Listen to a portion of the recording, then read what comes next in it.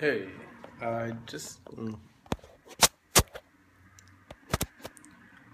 I just want to talk quickly about the potential benefits of sleep deprivation. Basically, you can get yourself into very good mind states by avoiding sleep or pushing it off.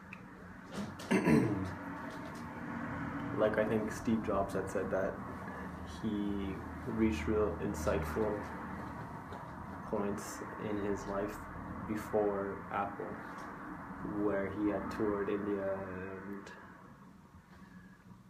once he tested with sleep depri- deprivation to test different uh, states of consciousness, it shows you.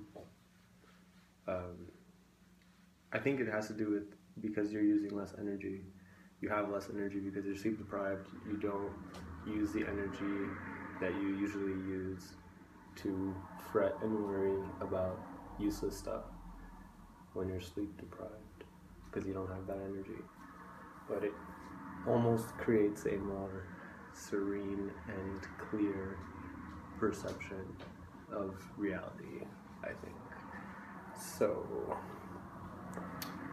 just want to share that. Don't be afraid to deprive yourself from sleep. I think one of my best interviews, and I got the job, and I hadn't slept all like for more than a day before that. Do you?